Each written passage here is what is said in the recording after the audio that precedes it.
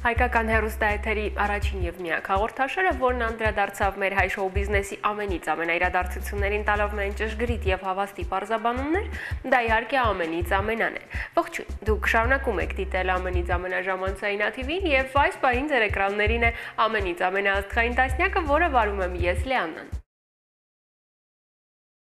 Դե իսկ այժմ հայտարարում եմ մեր այսօրվա հիմնական անվանակարգը՝ Երկի պետական թատրոնի ամենից ամենասերունդներ։ Մեր այսօրվա թեման իսկապես շատ հետաքրքիր է։ Անդրադառնալ երկի պետական թատրոնի սերունդներին նշանակում է անդրադառնալ մեր հայկական շոու բիզնեսի թերևս 80%-ից ավելին, այն էլ ամենապրոֆեսիոնալ մասնաբաժնին։ Եվ պատահական չէ, որ երկի պետական թատրոնի հիմնադիր եւ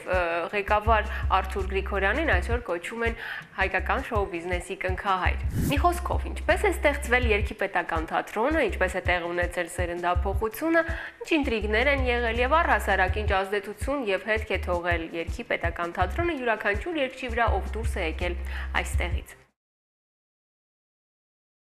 Շուրջ 18 տարվա պատմություն ունեցող երկի պետական թատրոնն ունեցել է 6 սերունդ։ Առաջին սերնդին փոխարինեց երկրորդը, երկրորդին երրորդը, այնուհետև կանաչ գոտի եւ արցախյան ձայններ նախագծերը ձևավորեցին երկի պետական թատրոնի 4-րդ սերունդը։ Էլ չեմ խոսում 5-րդ սերնդի մասին, որը երկի պետական թատրոնի պատմության մեջ իր հետքը թողեց իրական պատմություններ մյուզիկլի տեսքով։ Եվ վերջապես այսօրվա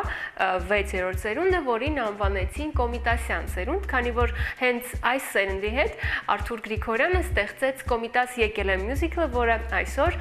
մեծ հանրաճանաչություն է վայելում եւ արդեն իսկ ունի մեծ հաջողություններ ու նվաճումներ։ Մի խոսքով, ամենին անդրադառնանք հերթով եւ այսպես երկի պետական թատրոնի ամենից ամենասերունդները ներկայացնում ենք հենց այս պահին։ 90-ականների սկզբին, երբ Հայաստանը դժվար անցումային ժամանակաշրջանում էր եւ փակվում էին բոլոր մշակութային օջախները, այդ թվում նաեւ թատրոնները, Երևան քաղաքի հենց կենտրոնում բացվեց մի թատրոն՝ Երգի թատրոն։ Այդ ժամանակվա համար նման անիրական գաղափար կարող էր ցակել միայն մի մարդու ուղեղում, ով իր էությամբ նորարար է եւ հասնում է իր արժեվ դրված նպատակներին հակառակ բոլոր հոսանքների։ Այդ անznավորությունը Արթուր Գրիգորյանն էր ինձ մնում է ներկայացնել այսօրվա բոլոր մասնակիցներին։ Ռապար ծնվեց այն ժամանակ, երբ որ ես ապրում էի Նկոհային բնակարանում եւ կային այո շատ հայտնի շոուներ 90-ականների երբ որ ծնվեցին այսօրվա դերասանները, որոնք որ սիրված են եւ գուցե եւ սիրված չեն։ Հետո այնպես ստացվեց, որ մեկը մեկի հետևից առաջարկվեց ինձ պաշտոններ, բայց միտքս միշտ թատրոն ունենալն Եվ թատրոնը ստեղծվեց մի շենքում, որը որ բոլորովին թատերական չէր։ Այս շենքը, որը մենք տեսնում ենք, որը Նուհ Խանջան 13A հասցեում, դա ուղակի ուսուցիչների կատարելագործման ինստիտուտ էր կոչվում եւ նրան ունեին փոքր դահլիճ, որտեղ որ ժողովներ էին անում։ Այդ ժողովների դահլիճը որոշվեց վերակառուցել այն տարիներին, որ մեկը մեկի հետևից թատրոններ էին փակվում, նոմար չկար կային մելոմաններ։ Կար մի սերունդ, որ իսկապես աշխատում էր պատ շարել գործում։ Դա Արամոն էր, Էմա Պետրոսյանն էր, Շուշանն էր, Պետրոսյան, Գրիգոր Աղախանյան, Իդա։ Այդո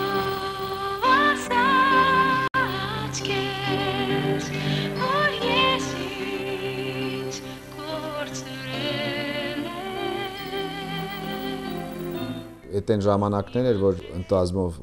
բխող այսպեսի մի հատ ինչ-որ վիճակ էր եւ բոլորս ուզում ենք շուտ կառուցենք այդ թատրոնը, որի վերջը ունենանք թատրոն։ Ճիշտ է, ես երկի պետական թատրոնում որպես ուսանող չեմ եղել, որովհետեւ այդ տարիներին ես այստեղ չէի։ Առաջի տարին, որ եկա, խնդրեցի Արտուրին, ասացի կազմակերպենք համերգ, ես երկեմ ու իհարկե այդ փոքրիկ հասույթը համերգից կայացած նվիրաբերեմ, որ դա էլ իմ լումա լինի թատրոնին։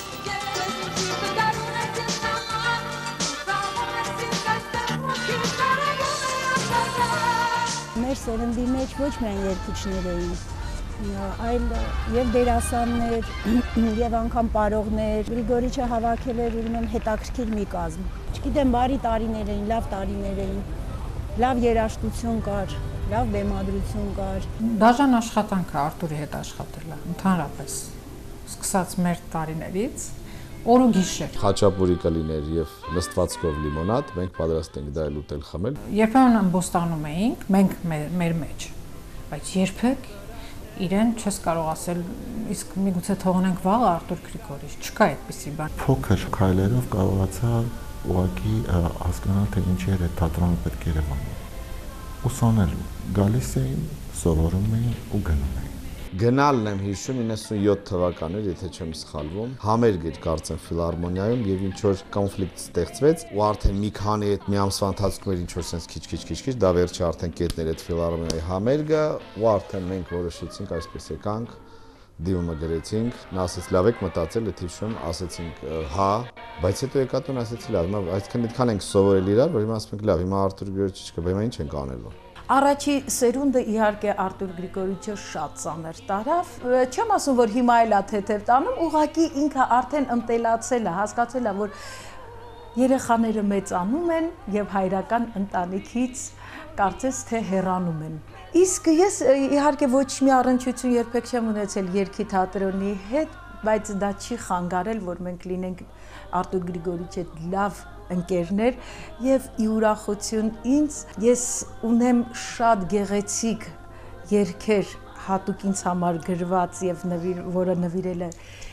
Արտուր Գրիգորիչը շատ գեղեցիկ 5 հատ երգեր ունեմ Ուրերի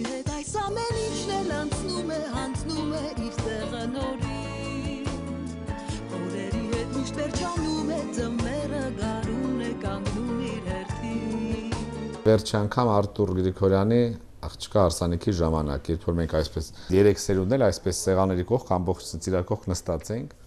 ու նայում եմ ասում ինչ լավ է, որ ամեն շարունակվում է Արտուրը կրկին այսպես տաղանդավոր եւ շնորհքով երեխեք է հայտ այսպես առաջ բերում եւ բոլորն էլ ես համոզված եմ բոլորն էլ գոհ են ու շնորհակալ են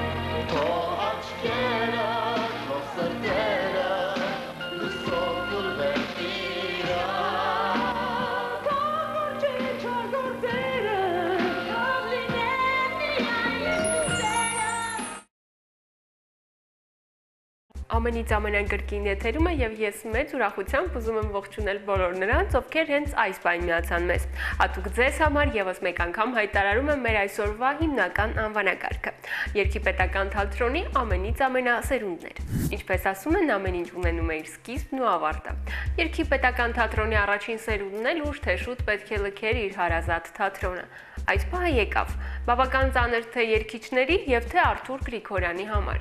Ծանր, քանի որ հենց այս սերնդի ներկայացուցիչները ստեղծեցին Երկի պետական թատրոնը եւ Արթուր Գրիգորյանի հետ միասին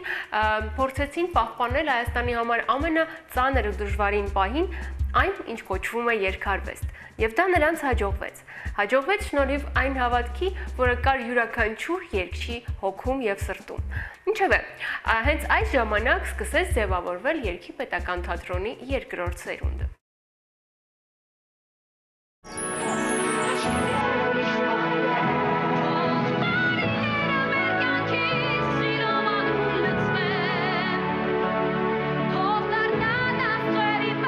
Երկի պետական թատրոնն արդեն մի քանի տարի շարունակ ծավալում էր իր գործունեությունը։ Այն դարձել էր առաջին սերնդի երկիչների համար իրենց երկրորդ տունը։ Թատրոնի բնական ընթացքն ուղակի ենթադրում էր նոր շնորհարի երկիչների մուտքը երկի թատրոն։ Սկսվեց երկրորդ սերնդի ձևավորումը։ Զարոյի Ալլա Վարդուհի այդ երկրորդ սերունդը արդեն շարունակեց ու զարգացրեց այն ամեն ինչը, ինչի մեկնարկը տրվել էր առաջի սերնդի կողմից։ Այդ տարիները ինձ համար անմոռանալի տարիներ էին, որովհետև կար դպրոց, կար կյանք, որը մենք ապրում էինք երկի թատրոնում եւ շատ անգամ ասում էինք մեր երկրորդ տունը եւ մեր ծնողները մեզ ուղում էին, ասում էին կարծում ենք որ դա ձեր առաջին տունն է որովհետև լույսը բացվում էր մենք երկի թատրոնում էինք, լույսը փակվում էր դեռ երկի թատրոնում էինք։ Ցանկացած պահի պետք է կարողանայիր երգել, կապ չունի դա գիշերվա 4-ն էր, թե 11-ն էր։ Գրեթե ամեն օր ուտում էինք հաց եւ երշիկ, հաց եւ պանիր, եւ կարծես թե այն ժամանակ դրանից համով բան էլ չկար, որովհետեւ փորձերը միջլույս տևում էին։ Այսօր ասպարեզում եղած ուրեմն լավագույններն են, հա, մեծամասնությունը լավագույնների հենց այդ երկրորդ սերունդներ եւ իհարկե չեմ կարող չնշել, երկրորդ սերունդը տվեց Վարդուհի Վարդանյան վերջի հաշվով։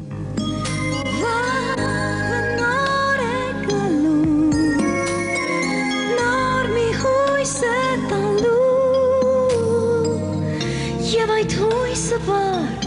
իր հետ կտանի մեստի եսեր Երբ որ նոր ընդունվեց երկի թատրոն, ինքը ամենափոքր մենակատարն էր եւ այդ պատճառով իրեն վերաբերվում էին մի քիչ այլ ձև։ Հետագայում, երբ որ նոր սերունդը եկավ, արդեն ինքը այդ սերունդից մի բավականին մեծ էր տարիքով։ 1997 թվականներ, հունիսի 5-ին ես շատ լավ հիշում եմ այդ օրը,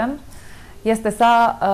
հայտարարություն հերոստատեսությամբ, որտեղ ասում են մասին, որ Երկիպետական թատրոնը սպասում է նոր կատարողների։ Ու ես հայտնվեցի այն երյակում, որը որ պետք է աշխատեր երկի թատրոնում ու ես հիշում եմ որ ես ոչ մեկի չէի ճանաչում ես զանգեցի Թութուշին ասում էի այսպեսի մի իրավիճակում եմ հայտնվել ասում են որ ընդունվել եմ երկի թատրոն նորմալ չեմ ճանաչում կոլեկտիվի ինչ եմ իմանում ինչ պետք է անեմ ասես դու արի անպայման լավ է լինելու Վարդուհին երևի թե միակ մենակատարն էր երկի թատրոնի ով բոլոր սերունդների հետ աշխատեց Բոլորս միասին ընկերություն ենք անում Իհարկե մեր բոլորի ցավն էր հենց Վարդուհու մեզ հետ չլինելը, իհարկե։ Այդ դեպքի օրերին, երբ որ մենք զգացինք ինչ քանակություն, ինչ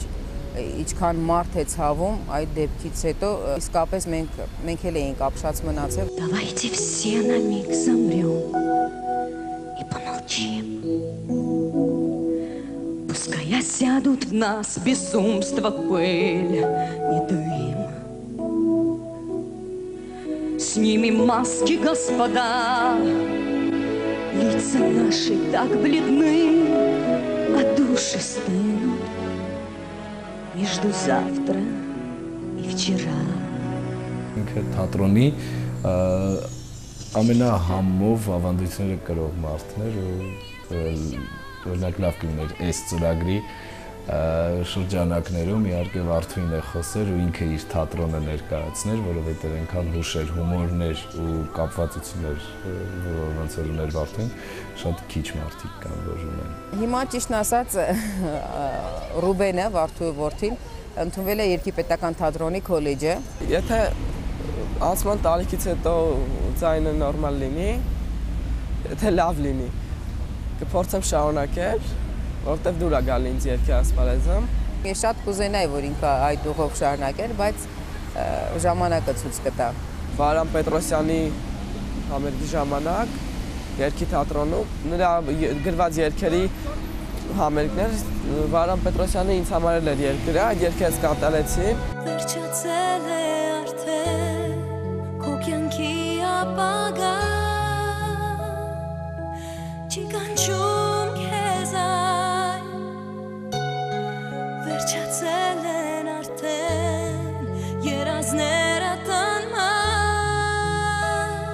Երբ այսօր մենք մտնում ենք երկի թատրոնի շենք, առաջին հերթին բարձրանում ենք երրորդ հարկ եւ հանդիպում ենք Արտուր Գրիգորյանը։ Եվ շատ հաճելի է, երբ դու մտնում ես ու դու այդ դուռը սենց բախեցած չես բացում, գիտեք։ Հիմա դու դուռը բացում ես շատ ավելի վստահ, շատ ավելի, չգիտեմ, կայացած քայլերով, Եվ շատ հաճելի է, երբ երբ բացում ես դուռը կանգնած ամի մարդ, որը որ միշտ ուրախ է քեզ տեսնի եւ միշտ սպասում է քեզ։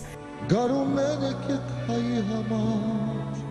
գարուններ եկեք հայի համար նորից, ահա, սպասում եմ Չի կարելի թերևս ասել, թե ինչպես տեղի ունեցավ սերնդափոխությունը երկրորդ եւ երրորդ սերունդների միջև։ Երկի պետական թատրոնը շարունակում էր իր ակտիվ գործունեությունը։ Երկիչներն ապրում էին թատրոնով երկում, արարում, ուրախանում միմյանց հաջողություններով, երբեմն երբեմն նաև տխրում։ Մի խոսքով, երկի թատրոնն ապրում էր, ապրում էր ինչպես ցանկացած առողջ օրգանիզմ ունենալով իր թե լուսավոր եւ թե մութ օրերը։ Մի խոսքով շարունակում ենք ներկայացնել ձեր ուշադրությանը երկի պետական թատրոնի ամենից ամենասերունդների ամենահետաքրքիր ու դեռ չբացահայտված պատմությունները։ Նորից կգա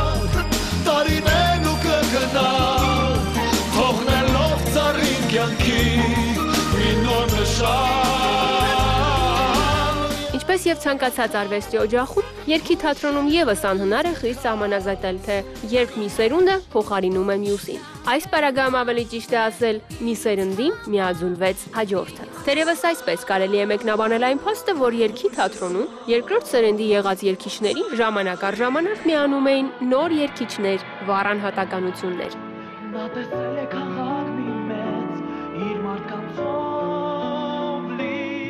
Ընդհանրապես խառնվել եմ երկրորդ, երրորդ, բոլորն էլ իմն են։ Ինձ հետ ընդունվեց նաև Երգիպետական թատրոն Քրիստինե Պեպելյանը 6 ամիս, 8 ամիս հետո Անդրեն, ասենք գրկանը 1 տարի հետո երևի թե։ Հիշում եմ պատմություն, որ ասում են մեզ ասել են, որ Ղարաբաղից պիտի մի հատ տղա երկիչ գա, ասում են պատկացում ենք այսպես կարմիր թշերով սմետան կերած, կատ կերած մի հատ տղա է գալու եւ գալիս եմ ես երկար մազերով, այդպես ոճային հակնված, իսկապես լավ են ընդունել, շատ։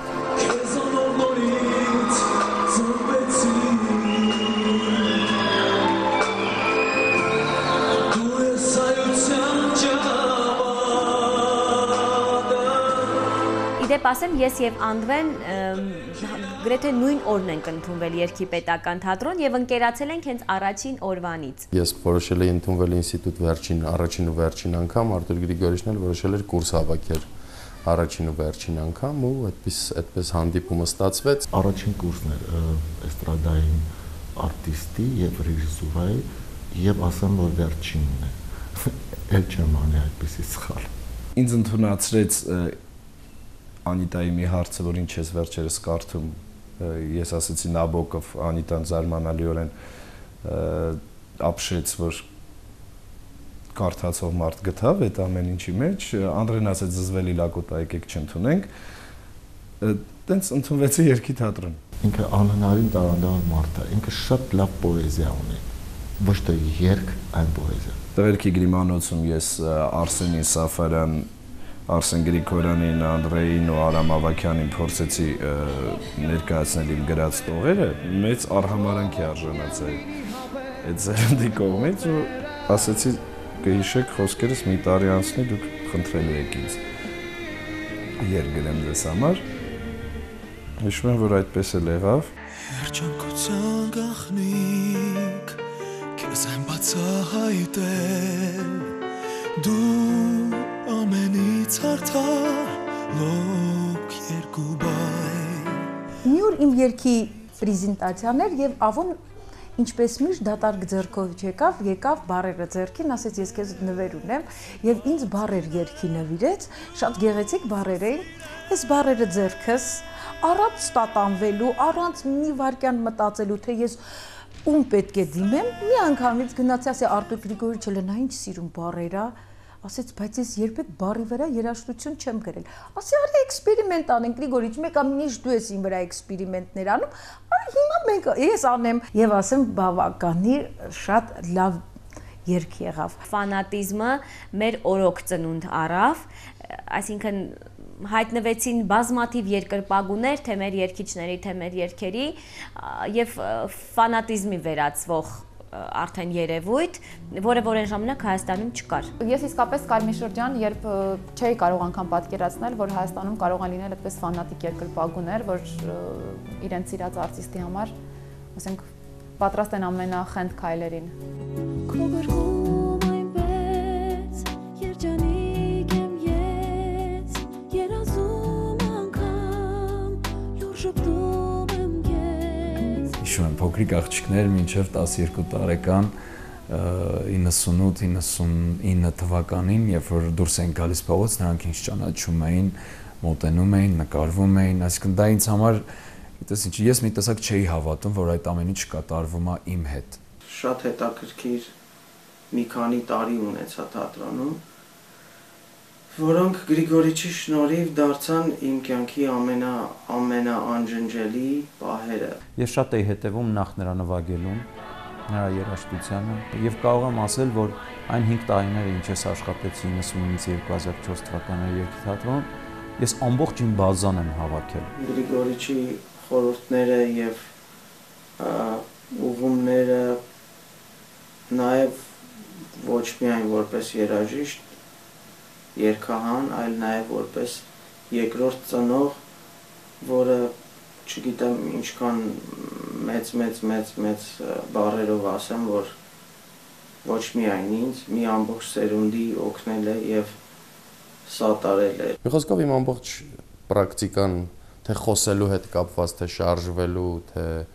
հասկանալու ինչա կատարվում աշխարհում, թե երաժշտական ճաշակի, ինչը ամենակարևորներից մեկն էր, ես ստացա երկի թատրոնից։ Չտեսնված սերունդ, որը այսօր ուրախացնում է տարբեր ասպարեզներում, ու բոլորս գիտենք, թե ովքեր են։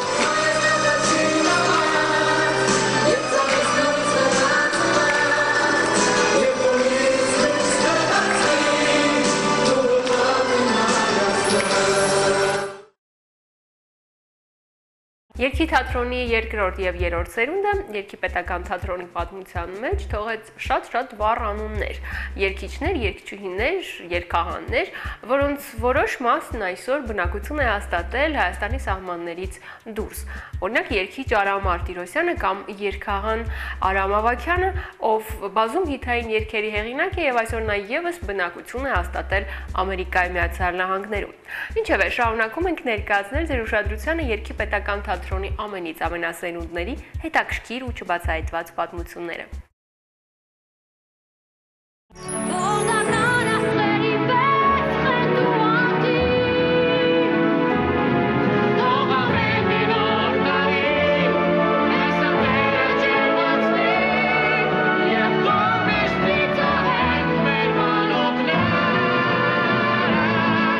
Երկի պետական թատրոն ստեղծագործող անհատականությունների հավաքատեղի, որոնցից յուրաքանչյուրը բնականաբար ունի իր եսը, իր որոշակի հայեցակետերը։ Եվ շատ տրամաբանական է, երբ նման միջավայրում լինում են քննարկումներ, որոշակի տարաձայնություններ, ինչու՞ չէ նաև փորձքումներ։ Այս ամենը եղել է, կա ու կլինի։ Սակայն այդ ամենը թատրոնում դրված է առողջ հիմքի վրա։ Այն թատրոնը, որը ունի ինտրիգ, ինտրիգ, բամբասանք, եւ մեկը մեկը խանդելու, հա, այդպիսի ունակություն, այդ թատրոնը իրանք չունի ապրելու։ Միշտ էլ երբ որ գրիմանոցը անգամ բաժանում ես եւ համերգային ծրագիր է ստեղծում եւ ով է բացում համերգը, ով է փակում համերգը, դա շատ կարեւոր է դերասանի համար։ Շատ տարբեր տեսակի մարդիկ են եղել հավաքված այդ տանիքի տակ, շատ տարբեր տեսակի եւ այդ մարդիկ կարողացել են միմյանց հետ լեզու գտնել Գրիգորիչը կարողացավ այնպես անել, որ այդ մարդիկ կարողանան իրար հետ աշխատել։ Հիմա երբ որ մենք ինչ որ մարդկանց ճանաչում ենք եւ պատկերացնենք, որ նրանք ասենք մի 10 տարի առաջ, 10 քանի տարի առաջ իրար հետ շատ ջերմ մտերիմ համերաշխ շապատներով 5-6 ժամով փորձ են արել, հնարավոր է նույնիսկ չպատկերացնենք։ Հենց այդ մտնոլորտը նաև ստիպեց, որ մենք այդչափ անկեղծ եւ ազնիվ լինենք միմյանց նկատմամբ, որովհետեւ եթե իրարից ասենք նեղանում ենք կամ վիրավորվում ենք, ապա պարտադիր պետք է խոսենք այդ մասին։ Գրիգորիչը շատ հաճախ ասում զգում է, որ ջղայնացած ես, բայց ձայն չես հանում, աս ու ավելի երելի խորացնում, տեսնի ինչքան կդիմանամ էլի։ Եթե դու անկեղծ ես ինքդ քո արժև ու դիմացինի արժև անպայման պետք է կարծիքներ հնչեն եւ քո կողմից եւ դիմացինի։ Մեզ մոտ եթե եղել են տարաձայնություններ, դրանք եղել են միայն ստեղծագործական հողի վրա ու ես չեմ կարող հիշել երբևէ ինչ որ անձնական թեմաներ, որ կարող են լինել մեր մեջ։ Ամեն ինչ էլ եղել է մեր մոտ եւ ես եմ նեղացել եւ նա է նեղացել եւ տարբեր մարդիկ են իրարից նեղացել, բայց այդ ամեն ինչը մեզ սովորեցրել են կյանքը։ Օրինակ ասենք, եթե ունենում ենք նոր նոր մինուսային գործիքավորումներ բերված Միացյալ Նահանգներից այդ օրիգինալ տարբերակները թատրոնում սկսում էր խառնաշփոթ ես նույնիսկ ընտանիք կազմելու հարցում նույնիսկ ես այդ ժամանակ նույնիսկ առնչվեցի ուրեմն երկիպետական թատրոն հետ, որովհետև կինս Սաթիկը Քրիստինե Պեպելյանի մոտ ընկերուհին էր Եվ ես առաջին անգամ տեսել եմ հենց Քրիստինեի հետ, հենց երկի պետական թատրոնում։ Երբ որ ինչ որ մեկը որևէ սերունդում ֆավորիտ էր, դա իր համար շատ մեծ խնդիր էր դառնում այդ ֆավորիտի համար, որտեղ մնացածը արդեն իրեն վերաբերում են շատ վատ։ Եվ միջև այսօր էլ այդպես է։ Եթե ինչ որ մի բան է լիներ, ինչ որ մեկը կարողա նեղվեր, չգիտեմ, նման դեպքեր ես չեմ լսում, նա այդ ամենին կմոտենար, մոտենում էր կատակով եւ կատակում էր եւ դա անցնում գնում էր։ Ամեն դեպքում Գրիգորիչ Արտուր Գրիգորիչը միշտ էլ ասել է, որ Վարդուհին իր ֆավորիտներից է եղել։ Ֆավորիտն է, ավելի սիրված, ավելի մոտիկ, որ ասենք, եթե ինչ-որ բան էր պետք, բոլոր դռներն էլ բաց էին։ Օրինակ Կրիստինա Պեպելյանին ես 9 անգամ անել եմ թատրոնից, բայց 9 անգամ էլ ներել եմ եւ ոչ ներել եմ, որովհետեւ ինչ որ բան է արվել, ուշացում փոքր, հա, մարդկային փոքր բաներ բայց միշտ հետ եմ վերցրել, որովհետև գիտեմ որ լավ չի։ Բնականաբար եղել են Արտուր Գրիգորիչի հետ անհամաձայնություններ, Անիտայի հետ ենք շատ կռվել։ Բայց այդ ամեն ինչը վնասող բան չէին։ Իրանք ավելի կոնստրուկտիվ էին ու ավելի զարգացմանը տանող, քան ինչ որ տենց կենցաղային հոտածություններ կամ երկար բաներ։ Չեմ վախենա ասեմ, հորպես է կարող է մտնել իմ առանձնասենյակ ու գրիչս գողանա կամ եթե տեսնում եմ իմ լավ սիգարետները, սիգարետները սա գողանում խուլիգանություններ անում այսինքն ավետը ինձ համար ուղղակի ավետ է նա ինձ համար չի դարձել ավետ Բարսեղյան ավելի շատ Բարսեղյան ավետ է որին ես թույլ եմ տալի եւ լավ եմ անում մի քիչ խուլիգանություն անում եթե այդ օրը ամենավատ եթերը այդ օրն է կամ ամենավատ նախադասությունը այդ օրն է ինքը անպայման այդ նախադասությունը ալիքները փոխելիս կգտնի անպայման։ Կարող եմ ինչ որ ծրագիր նայել եւ ինչ մազերիս անելվածքը դուր չգա զանգարեմ ասեմ չես ամաչում արել եմ տենց բան վերջերս բայց դա հայրական հա մոտեցում է ու շատ լավ գիտեք երևի շատ լավ է որ կա մեկը ով տենց հորպես մեծի պես տենց հետևում է երբ որ մարդը ստանում է տարվա լավագույն կոմպոզիտոր մրցանակը եւ հանձնում է նոր եկող սերունդից մեկին, որը որ չգիտեմ ես կանեի թե չէ, բայց ինքը հանձնեց ինձ իր մրցանակը եւ դա շատ մեծ նվեր էր ինձ համար։ coração.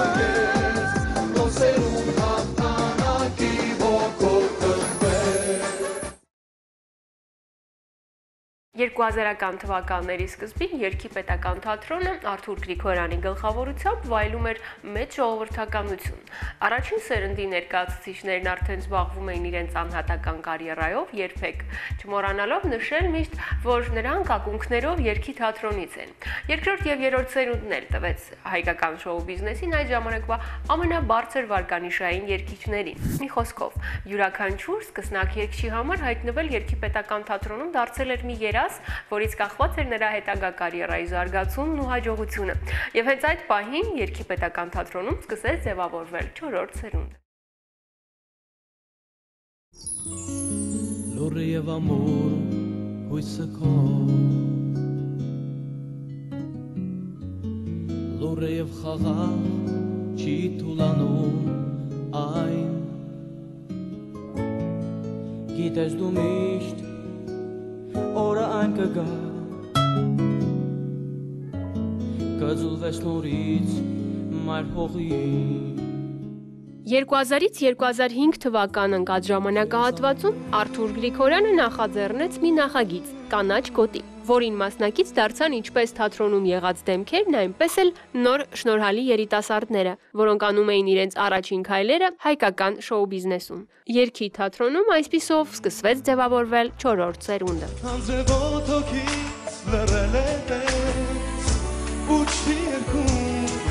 Կանաչ գոտին ամենա հետաքրքիր պերիոդներից էր, որ տեղի ունեցավ Գուգարքում, նաև Երգի թատրոնում, ես ու Մանեն էինք վարում։ Շատ հետաքրքիր պրոյեկտ, շատ մեծ հնարավորություններ տվող այն երիտասարդներին, ովքեր նոր գալիս էին, ուզում են իրենց փորձային այդ ասպարեզում։ Էկլեկտիկ վիճակ կար այդ ամեն ինչի մեջ, որ խառնվում է իմացածը նորը Մարտին Միրզյանը իր նոր գործիքավորումներով այդ ժամանակ մի խոսքով շատ հետաքրքիր պերիոդ էր կանաչ կոդում։ Մաքուր խղճով զինված դառնում ես անկասկած, ուժեղ ամեն ինչից ու պաշտպանված։ Չորրորդ սերունդը մեր հայկական շոու բիզնեսին տվեց այնպիսի անուններ, ինչպիսիք էին Սոֆի Մխեյանը, Նարեկ Բավեյանը, Ռազմիկ Ամյանը, Վարդան Բադալյանը եւ մի շարք այլ անուններ, որոնք այսօր իրենց հաստատուն տեղն ունեն հայ երկարվեստում։ Մոտ ենք իրար, չենք զատվի երբեք, հավեր Այդ ընթացքում, որ աշխատել եմ Երգիպետական թատրոնում,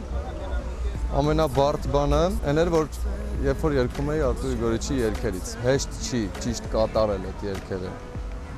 Ես էլ այն ժամանակ այդքան փորձ չունեի ու շատ դաժան էին իմ համար այդ պահերը, երբ որ փորձերի ժամանակ Արտուր Գրիգորիչը նստել էր լուրջ դեմքով էսպես լսում էր թե ես ոնց պետքա մատուցեմ ներկայացնեմ իր երգը։ Ինչ կտայ ինձ հավատայ Վերջերս մի շատ լավ երգ երգեց Մարտին Մարտին Միրզոյանի երգները եւ չտեսնված լավ երգեց։ Այսինքն ինքը գիտեք գիտես ինչ ինչա ստացվում, որ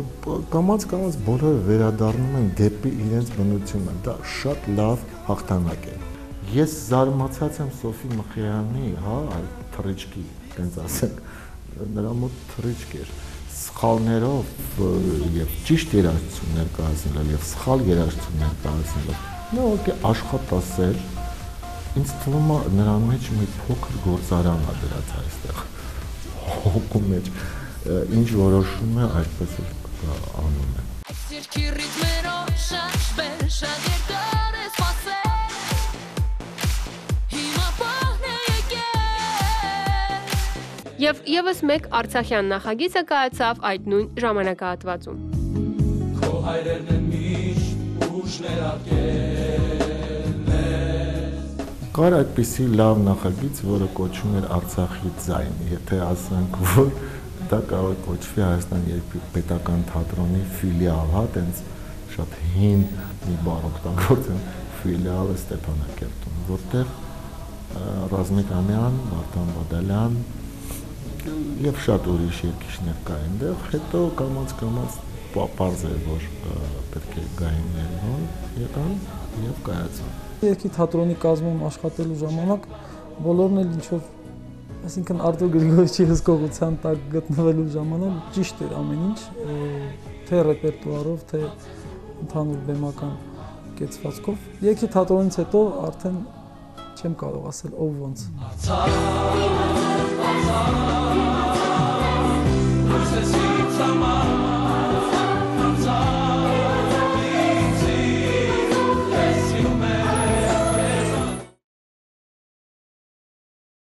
Չորրորդ սերնդից հետո կարելի ասել, որ երկի պետական թատրոնում որոշ ժամանակ սոլիստ չի եղել եւ այդ ժամանակ Արթուր Գրիգորյանը մտածեց ստեղծել մի նախագիծ դարձյալ առաջին Հայաստանում ընծա մրցույթ փառատոնը, որին հնարավորություն ունեին մասնակցելու աշխարհի ամենատարբեր հատվածներից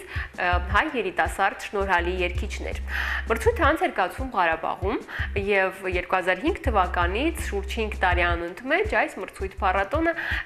բացահայտում էր նորանոր հետարքի շնորհալի անուններ։ Մի խոսքով այդ փուլն էլ երկի պետական թատրոնի համար անցավ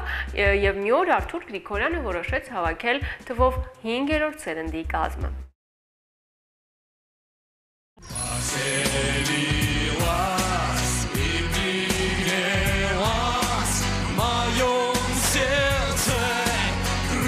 2005 թվականն էր։ Արթուր Գրիգորյանի մոտ հասունացել էր պահը ստեղծել մի մրցույթ փառատոն, որը կգրկեր ոչ միայն Հայաստանաբնակ, այլ նաև աշխարհի տարբեր հատվածներում բնակվող երիտասարդ երգիչներին։ Գաղափարն իսկապես շատ հետաքրքիր էր։ Հայտնաբերել եւ թույլ տալ փորձել իրենց ուժերը նոր սերնդի շնորհալի երիտասարդ երգիչներին։ Ընծավ, այսպես կոչվեց նախագիծը։ Այն բացահայտեց կամ թույլ տվեց ինքնահաստատվել երկի ասպարեզում մի շարք երգիչների։ Այս մրցույթը եւս մի փուլ դարձավ երկի պետական թատրոնի պատմության մեջ, որը եւս հայ շոու բիզնեսին տվեց մի շարք անուններ, այդ թվում նաեւ թատրոնի այսօրվա սոլիստներից Ռուսլանին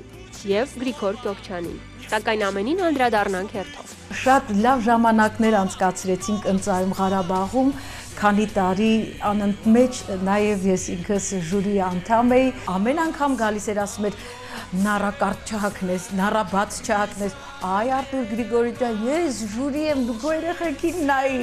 Ինքը ամեն ինչին հետևում էր, անգամ ժյուրին էր հետևում։ Ես մասնակցել եմ 2006 թվականին։ Մեր տարին մասնակցում էր Էրիկը, Սիլվա Հակոբյանը, ու շատ երկիշներ տարբեր երկրներից։ Ես ստացա Grand Prix ընծամրցություն։ Իհարկե անսպասելի է եւ կարելի ասել հենց այդ ընծայից սկսեց իմ անհատական կարիերան։ Հորա հո պանմատա ապունդալուն կուչի հոտա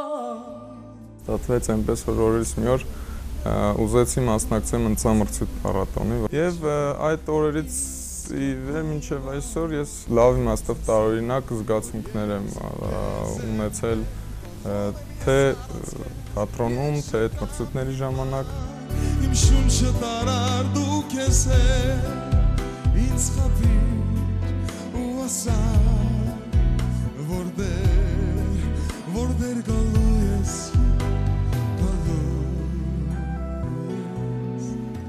բանակից վերադարձա անատական պարապմունքներ արվում էր Արտուր Գրիգորիչի հետ եւ մասնակցեցի ընծա կոնկուրս փառատոնին առաջի լուրջ բեմներ իմ համար եւ մինչեւ այսօր էլ տենց մնացել է որպես կոնկուրս չեմ մասնակցում կոնկուրսների Als ich erfuhr, sie auf der Choste habe ich dann dank auf mein Tag gelegt 2008 թվականին արդեն մասնակցեցի ընծա համահայկական երկի մրցույթ փառատոնին, մասնակցեցի եւ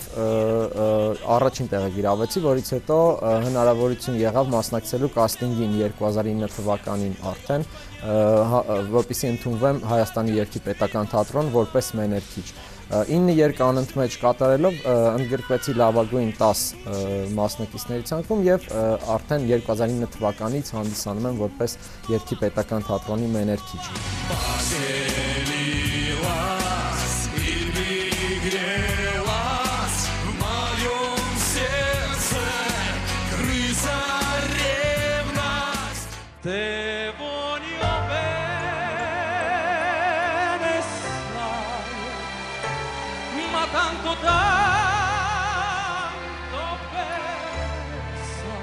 2009 թվականին կայացավ ընծայի վերջին դրամաբանական մրցույթ փառատոնը, որն ընդգրկեց նախորդ տարիներին մասնակցած լավագույն երգիչներին։ Եվ անմիջապես մրցույթից հետո Արթուր Գրիգորյանը սկսեց մտածել նոր նախագծի մասին։ Ծնվեց գաղափար ստեղծել մի մյուզիկլ, որը պատմելու է շոու բիզնեսի իրական խոհանոցային կյանքի մասին։ Իրական պատմություններ։ Այդպես խորագրվեց այս մյուզիկլը, որը իրականացնելու համար Երկի պետական թատրոնում հավաքվեց թվով 5-րդ սերունդը։ Ուզում ես թղթով երկես տեքստը չգիտես, Շաբազյան, Ուզում եք հետո չես։ Այդ ժամանակ դեռ նոր էինք, դեռ այնքան հասուն չէինք այս ասպարեզում, թե երկի մեջ, թե որպես դերասան աշխատեցինք բավականին երկար, հետո տարապես 5 ամիս փորձերից հետո եղավ այդ մյուզիկլը։ Խաղացինք թինեյջերական մյուզիկլեր, որով եղավ մեր դեբյուտը։ ինչ պիտի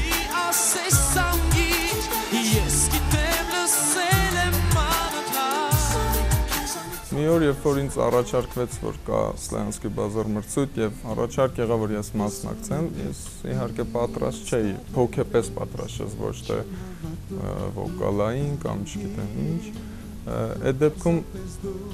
ավելի շատ զգուշանում ես ու ավելի շատ խուսափում ես եւ այդպես էլ եղավ առաջի տարին, բայց այս տարի որ եղավ առաջարկը, ես ընդունեցի անգամից ու ուզեցի, որովհետեւ ուզեցի հասկանամ, այդ ինչքան պետքա չուզենամ ու չիմանամ դա ինչ է ու վերջապես հասկացա ու Սլայանսկի բազարի հաջողությունը իմ մեջ ստացվեց այն որ ես ավելի ուժեղացա որպես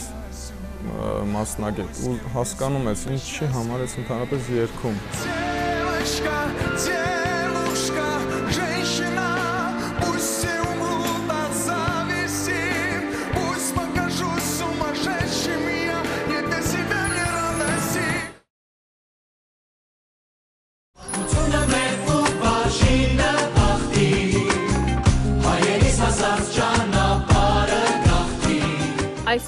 պետական թատրոնը շարունակում է ապրել։ Ապրել իր 6-րդ սերնդի կյանքով։ Թատրոնի այս սերնդի 20-25 տարեկան սոլիստներին բաժին ընկավ բավականին լուրջ միսիա։ Ներկայացնել Արթուր Գրիգորյանի կողմից ջազային էստրադային ժողովրդական ոճով մշակված Կոմիտասի երգերը։ Ստեղծվեց մյուզիկլ, որը խորագրվեց Կոմիտաս եկել եմ եւ որը Երկի պետական թատրոնի ամենալուրջ ներկայացումներից մեկն է։ Լուսի շապա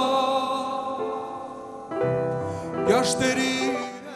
Կոմիտասը 1 տարեկան է, սակայն արդեն արժանացել է մի շարք մրցանակների, այդ թվում նաև ազգային ամենամյա երաժշտական մրցանակաբաշխության հատուկ մրցանակին, ազգային երաժշտական ժառանգությունը նորովի մատուցելու համար։ Կոմիտաս եկել եմ մյուզիկլը հաջողություն է ունեցել նաև Սփյուռքում։ Իսկ ինչպես է ամեն ինչ սկսվել եւ ինչպես հավաքվեց թատրոնի 6-րդ սերունդը։ Մորս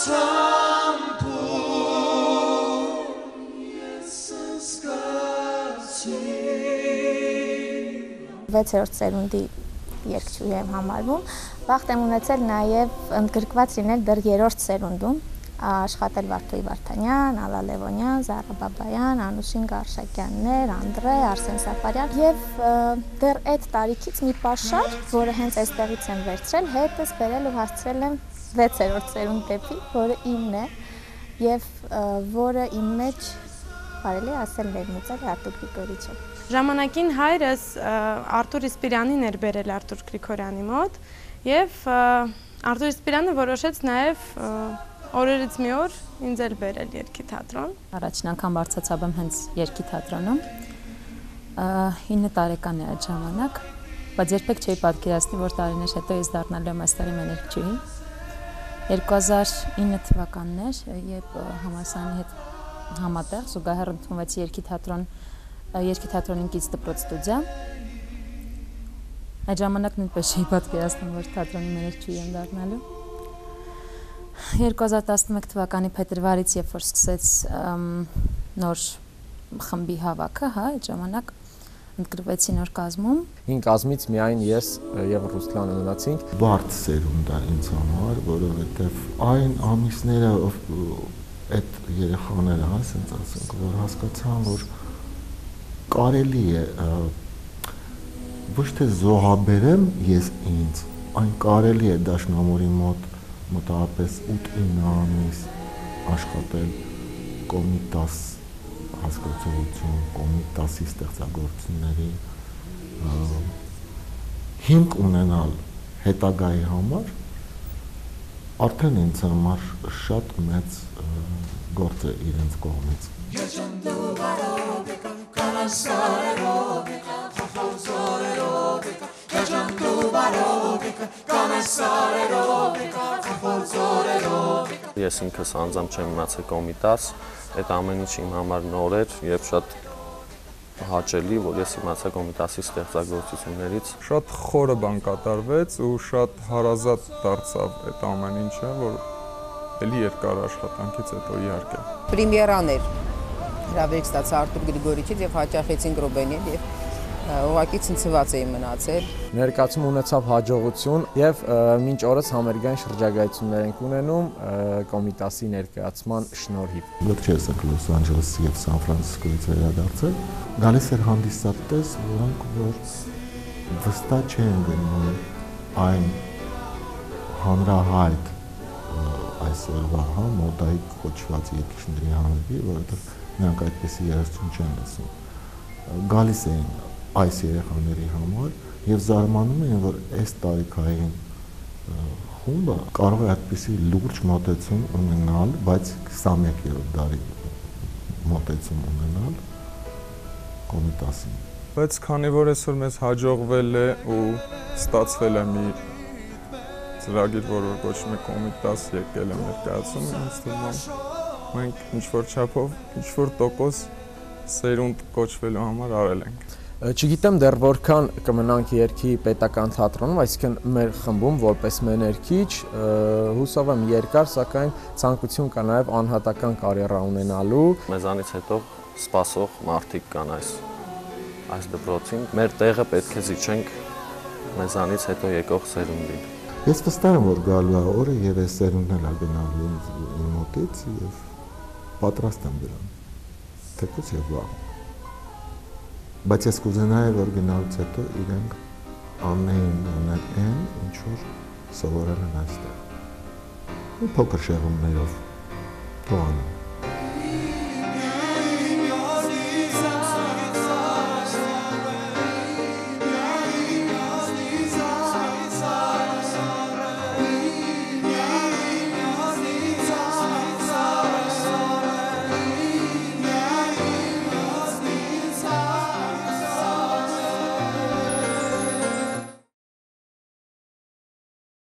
մեկի համար թերևս գաղտնիք չէ, որ Երկի պետական թատրոնին կից մի քանի տարի անընդմեջ գործում է դպրոց ստուդիա։ Մի կրթօջախ, որտեղ երկու տարի անընդմեջ դպրոցի սաները ուսումնառում են պրոֆեսիոնալների մոտ։ Եվ վստահ կարելի ասել, որ այսօրվա մեր հայկական շոու բիզնեսում, թե երկարվեստում եւ թե հաղորդավարական այս բարեզում կան շատ հայտնի անուններ, որոնք իրենց առաջին քայլերն արել են հենց այս դպրոց ստուդիայում։ Դե ինչ դիտում ենք մանրամասները։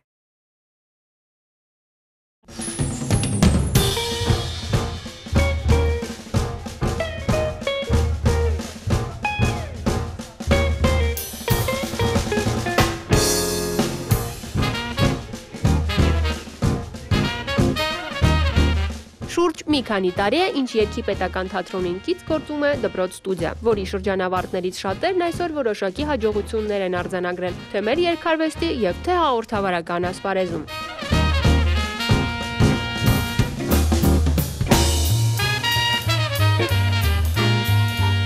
200-ից ավել, հա,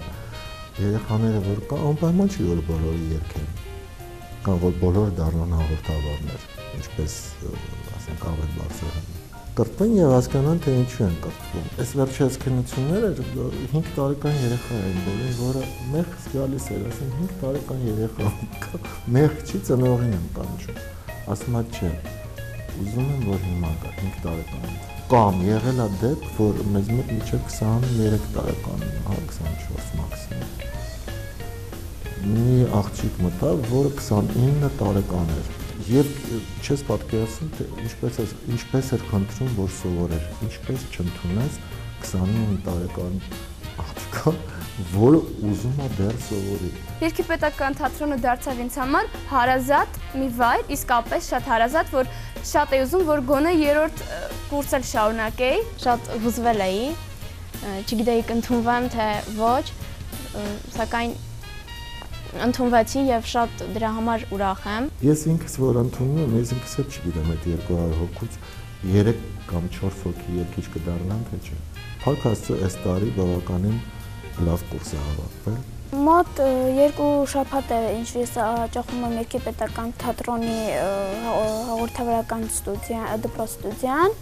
ու ես շատ լավ տպավորություններ ունեմ։ Ընդունվեցի հաղորդավարության բաժին, սակայն մի ամիս սովորելուց հետո ցանկություն առաջացավ վոկալի բաժինն էլ,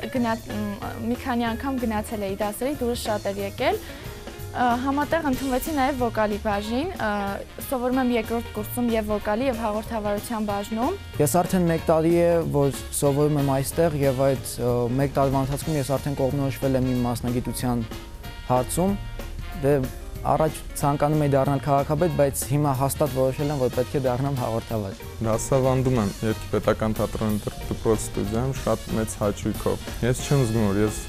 դասախոս եմ կամ ես դասատեմ, ես էլի սովորելու բան ունեմ։ Նույն այն աշակերտից, ով որ շուտ մի հատ հետաքրքիր բնություն ունի ու երբ որ դու իրան ինչ որ բան ես սովորեցնում, ինքը անում է դա իր ձևով, իր բնությունով դու այդ ամենից էլի էներգիա ես ստանում, էլի բաներ ես սովորում։ Դրսում ձմեր է, բայց շատ լուսավոր է, այսօր ինչ օր է ասա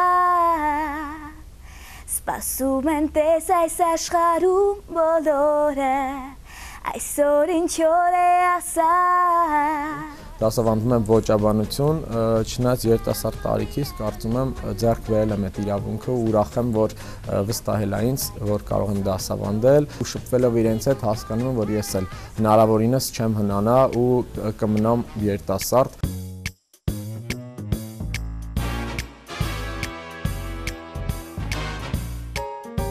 Ինձ բախտ վիճակվեց մասնակցելու մյուզիքլին, խաղալու Ռենոտայի դերը։ Սիրում եմ այդ մյուզիքլը, որովհետև ինքը մի տեսակ մանկություն է հիշեցնում։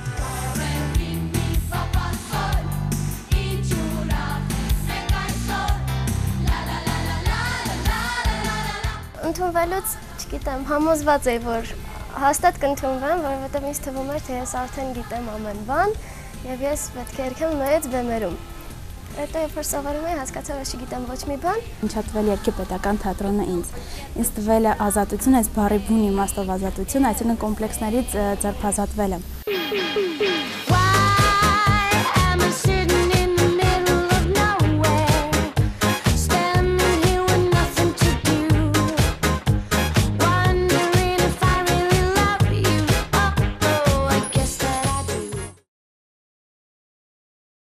Եվս մեկ բացահայտումներով լի ամենից ամենաաստղային շքերթ ներկայացրեցինք այսօր ձեր ուշադրությանը եւ այդ ամենին թերևս հավելեմ, որ այսօր մենք դժվար ունենայինք մի թատրոն, երկի պետական թատրոն իր հարուստ ու հետաքրքիր պատմությամբ, եթե այն չհիմներ ու չգլխավորեր մի մարդ, ում այսօր ըստ արժանվույն կարելի է կոչել կենթանի լեգենդ։ Ես գիտեմ, սիրելի Գրիգորիչ, որ այս պահին դուք այս արտահայտության համար ինձ վրա գրքին բարկացաք, բայց դա այդպես է եւ դա ոչ միայն իմ, այլ շատ-շատ մարդկանց կարծիք է։ Դուք իսկապես կենթանի լեգենդ եք։